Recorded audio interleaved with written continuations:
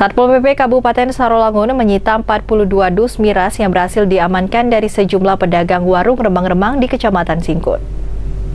42 dus minuman keras berbagai merek berhasil disita oleh Satpol PP Kabupaten Sarolangun. Puluhan dus miras tersebut disita dari sejumlah warung remang-remang di Kecamatan Singkut. Semua minuman keras yang disita tersebut tidak memiliki izin penjualan miras.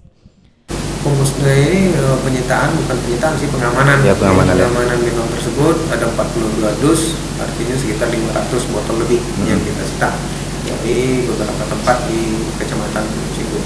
Eh, ada empat atau lima jenis yang kemarin saya lupa ini ada Jack Black, ada Mic Mac, ada orang tua, ada Asoka, ada satu lagi Big, enggak, bir enggak ada.